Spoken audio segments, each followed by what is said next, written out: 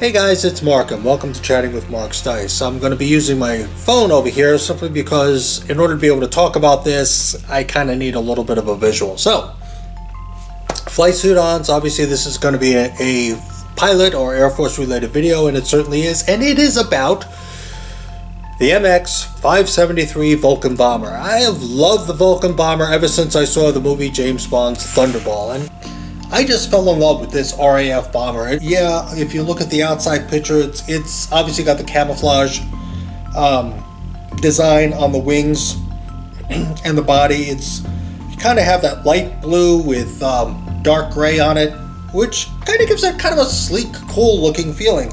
And I want to be able to take a moment to thank my friend Jay Worsley.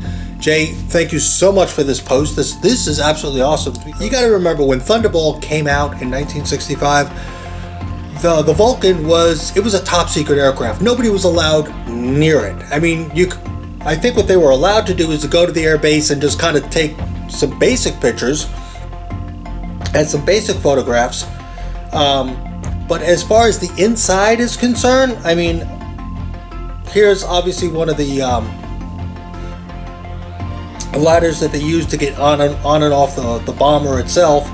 And yeah, this is a stark contrast of how the cockpit is versus how it looks in you know in the movie because clearly the pilot and co-pilot sit a lot closer together and if you look at the instrument panels themselves i mean look at all these freaking instruments there is no way that when the guy was actually going to do the whole scene with gassing the crew and stuff like that, there is no way the pilot wasn't going to be able to see him. I mean, just from this picture alone. This is utterly awesome. This is utterly fantastic. And this must be how the pilot or co-pilot bailed out, you know? Um, I mean, obviously you've got the classic, you know, triangle wing um, on this particular bomber. And I mean, this was state of the art for its time in 1965. And it's just amazing to look at.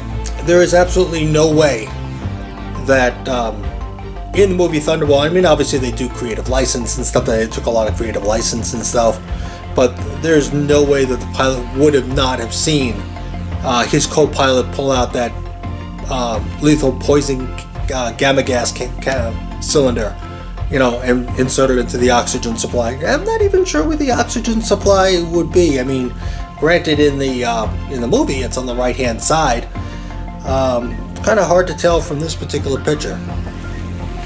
But anyway, I wanted to be able to thank Jay. Jay, thank you so much. Um, I really like this. I really look forward to um, if you actually get any more pictures, please send them my way. I would love to see that.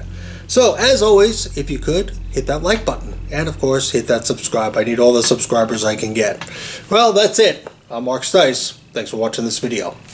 Bye bye.